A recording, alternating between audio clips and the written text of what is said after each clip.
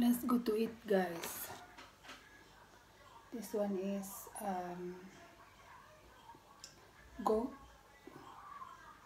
uh, goat pineapple. I put the carrots tomato pospori and garlic onion carrots. You need to boil first the goat one hour, two hour because sometimes he's chewing. Then stir fry. First onion, then uh, garlic, garlic first, then onion, then carrots, then put now the meat then put to put the tomato puree and then put the pineapple the liquid pineapple and then with the pineapple then stir fry. Yeah. pineapple good okay. This is cake mukbang. Make muk cake mukbang. This is the my my daughter uh, uh making cake today but then I have a uh, take the video already but I set up later this one is cake chocolate cake. The inside she put the icing chocolate powder and margarine inside. But anyway sometimes I don't like too much eating because I'm not doing um, I don't want to getting fat.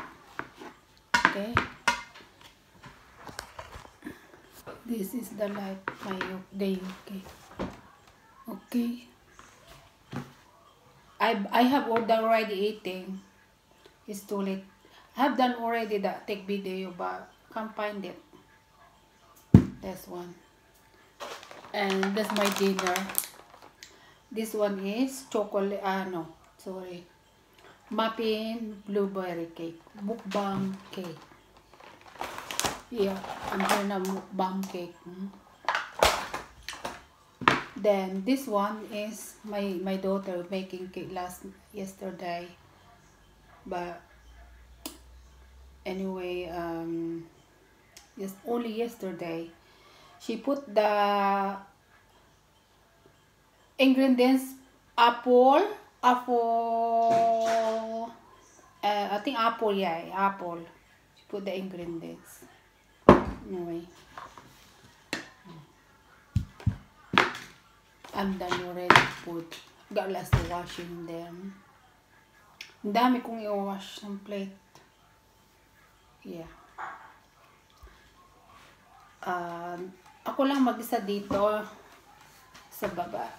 Sa, yung anak ko nandun sa taas. Then uh, my my husband is not here.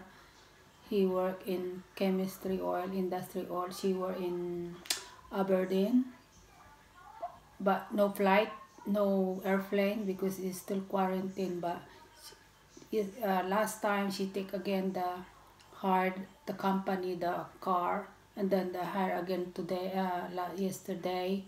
Uh, he went now there two days ago now there. So this second times now she drive.